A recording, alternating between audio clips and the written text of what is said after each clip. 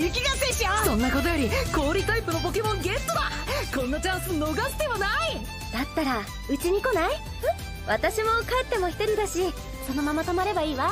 コダックのトレーナーになればいいのに。見てるだけで満足だから。それに